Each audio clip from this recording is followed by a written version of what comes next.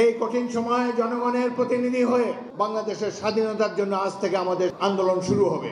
আওয়ামী লীগ যদি মুক্তিযোদ্ধাদের দল হতো, তাহলে এই একদলীয় বাকশাল সৃষ্টি হতো না। তাহলে আজকে দেশে এই ভয়াবহ পরিস্থিতি সৃষ্টি হতো না। এই যুদ্ধে রাজনৈতিক দল আওয়ামী লীগের তেমন কোনো কৃতিত্ব নাই।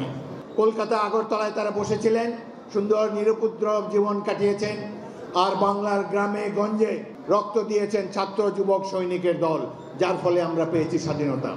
মুক্তিযুদ্ধকে যদি খুঁজতে হয়, মুক্তিযুদ্ধকে যদি চিনতে হয়, আপনাদেরকে তাকাতে হবে মেজর জিয়াউর মেজর জিয়াউর রহমানের দিকে। যেই সততা দেশপ্রেমের স্বাক্ষর তিনি রেখেছেন রাষ্ট্রপ্রধান রূপে, এটি পরিচয় দেয় যে তিনি একজন প্রকৃত মুক্তিযোদ্ধা ছিলেন। দেশের স্বাধীনতাকে সর্বোচ্চ তিনি স্থানে দিয়েছেন। প্রয়োজন হয়েছে প্রতিবেশী রাষ্ট্রের বিরুদ্ধে জাতিসংঘে গিয়েছেন পানি আদায়ের জন্য। বেগম খালেদা জিয়া মুক্তিযোদ্ধা মন্ত্রণালয় সৃষ্টি করেছে। একাত্তরের মুক্তিযুদ্ধ ছিল সাধারণ মানুষের যুদ্ধ। এখানে রাজনৈতিক দলের নেতৃত্ব তারা দিতে পারে নাই। তারা কেবলমাত্র জোর করে ইতিহাস পাল্টে কৃতিত্ব হাইজ্যাক করার চেষ্টা করেছেন।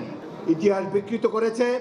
তারা যে মুক্তিযোদ্ধার দল নয়, মুক্তিযুদ্ধ হওয়া এত সহজ নয়। মুক্তিযুদ্ধ হলে আজও গণতন্ত্র থাকতো। এইভাবে ব্যাংক সমূহ লুট হয়ে যেত না। এইভাবে সাধারণ মানুষের অধিকারকে হরণ করা সম্ভব হতো না। বর্তমান শাসক দল অনেক কথা বলে, তারা স্বাধীনতার সপক্ষ শক্তি, বাকি সবাই বিপক্ষ শক্তি। স্বাধীনতা এত সহজ জিনিস তো নয়।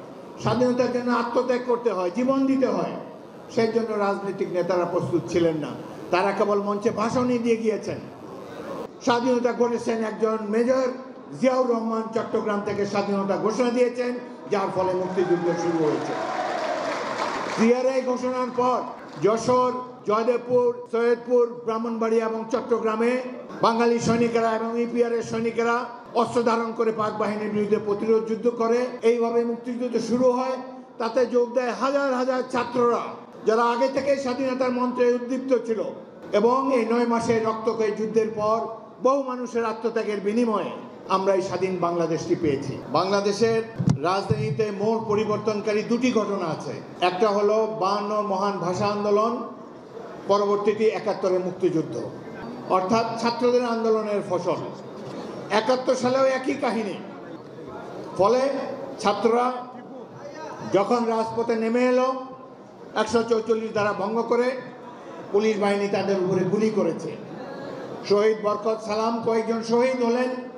এই ছাত্রদের এই সংগ্রাম বলিদানের প্রেক্ষিতেই স্বাধীন বাংলায় আমরা ভাষা শহীদদের জন্য দেশের ভাষাকে প্রতিষ্ঠিত হয়ে আজকে আন্তর্জাতিক মাতৃভাষা দিবস হয়েছে। আমরা অনেক আশা করি। আমাদের বয়স হয়েছে। আশা করি আরেকটি মুক্তিযুদ্ধ দু হাজার তেইশ সালে হবে। সেখানে নেতৃত্ব দিবে বিএনপির নেতারা। আশা করি ইনশাল্লাহ আবার বাংলাদেশে আমরা মুক্তিযুদ্ধের চেতনাকে প্রতিষ্ঠিত করতে পারব। আপনাদের সবাইকে অসংখ্য ধন্যবাদ। শহীদ জিয়া জমন হোক, বিএনপি জিন্দাবাদ।